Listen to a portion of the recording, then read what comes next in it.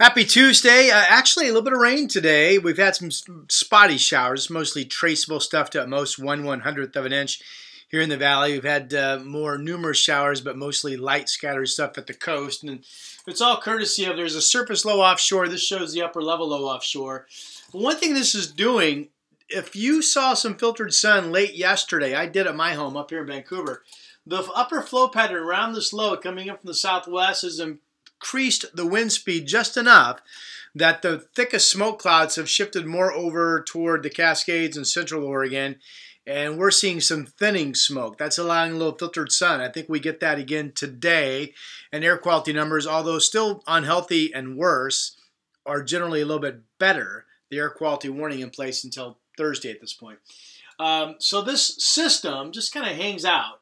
So while Portland has a chance of a shower, a lot of us probably aren't going to see anything until we get into Thursday, maybe Thursday night into Friday.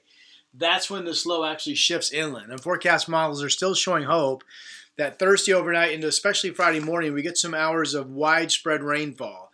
And we pick up maybe a quarter of an inch across the entire area. And there's fingers crossed that maybe some of those totals could go as much as a half of an inch, but I'll be really, I'll be happy if we get a quarter of an inch. Again, that's Thursday overnight and Friday morning, the best chance. There's a, still another little wave of clouds coming on the back half of that Saturday morning that may produce some traceable rain.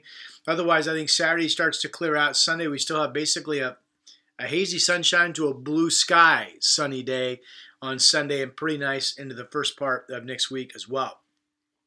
So forecast models show once this low moves inland and we get the rain Thursday overnight, especially into Friday morning, that what has been a pretty solid smoke plume overhead really starts to shred and thin itself out as it gets sheared and pushes off to our east northeast.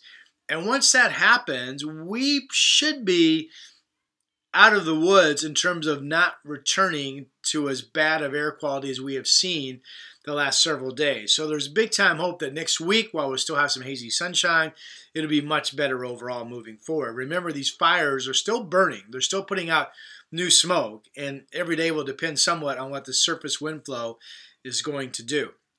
But overall, forecast models show mostly west winds. That'll keep the smoke much better here on the west side of the Cascades, mostly west winds through the remainder of this month. And once we get however much rain we end up getting Thursday overnight and Friday morning, there's not much in the rain forecast until we get to roughly the last five days of September. And then there's hopes that another weather system will bring us some beneficial rain at that time.